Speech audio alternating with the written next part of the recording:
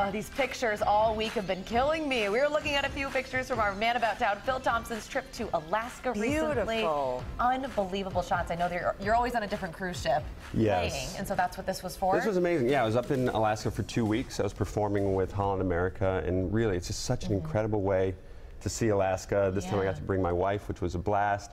So for two weeks, I was performing on the cruise ship every night, and uh, Okay, I have a do you- question for you though. Do you have a professional photographer that follows you around? Your Instagram looks like it's something out of like a magazine. well, I, I do a lot of photography for my Okay. wife's fashion blog, Okay. uh, me and me and mine. But then uh, she's the expert at the uh, Instagram filters and all this stuff. So sh- All right. she- Um, she's whatever a you pro. need to do. Well, I'm sorry, but you could not you. take a bad picture in Alaska, okay? Everyone That's looks true. gorgeous. Well, it looks like you had a great trip, Had a but great we're trip. happy that you're here. And this week we're talking about your picks for the best mini golf. Best mini golf. You know, you think about summers growing up, and I think about you know super soakers and going to the pool, ice cream trucks, and mini, Mm-hmm. Mini golf. golf. Yes. Yes. That's what summer is all about. So I've got four great picks right here in the Twin Cities. Okay. And uh, excited to share them. So. Okay, first up. First up, this is the, the quintessential Americana mini golf course. This is Putt'er There at Como Park. They've got a vintage streetcar as their clubhouse. You know, this is all about the really just classic mini golf. They've been around for 50 years at Como Park.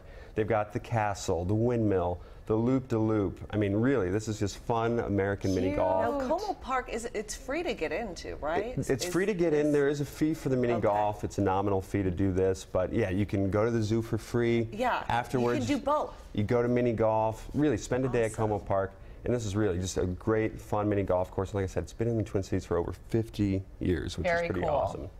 And your next pick? Next pick up, this is the Links at Dred Scott. This is in Bloomington, just off of 169. This is course is beautiful. Nine of the holes have water hazards.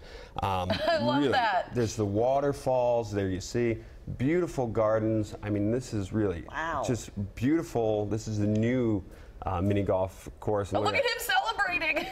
I would celebrate too. I mean, that was a great putt. I love it. And you also say that Big Stone is on your list too. Big Stone. This is this is cool. This is more of a sculptured garden. They've got these intricate sculptures and just amazing. Like look at this. I've never seen a mini golf course like this. Hmm. This is all the way out in Minnetrista, but worth the drive because again, you've never seen a golf course like this. And what's even cooler, they've got uh, really a mini petting zoo right there. They've got goats. They've got horses.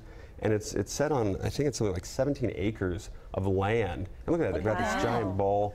Um, really, if you want to experience something not your typical mini golf, Yeah.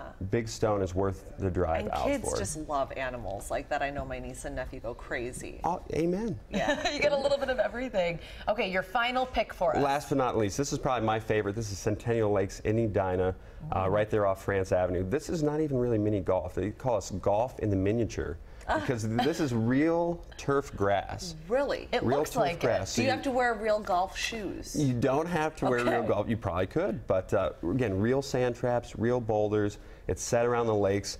All in all, it's over 1,600 feet of putting surface. Wow. So it's a little challenging. They say it could take up to an hour and a half to get through this one. Oh, so that's dedicated. But you know what? I is feel like my mini golf game always goes by so quickly because I'm so talented at mini golf. So I think I could use the, ta- the challenge. So this is a good challenge, but beautiful course right there in Edina. They've got uh, bocce ball, croquet, and the paddle boats too. So awesome day I out. bet you had a little bit of fun researching this one. This is this is right up my alley. for sure. Absolutely. Yeah. Well, Phil, thank you so much, and we're so glad to have you back from after your cruise in Alaska. is there you. any place next that you're you're headed? You know, here in Minnesota for a while, so it's pretty good. Good. Well, So, somewhere in Minnesota, there's nothing better. So take You a little got it. staycation. good deal. Okay, awesome. Thank you, Phil. Thanks, guys.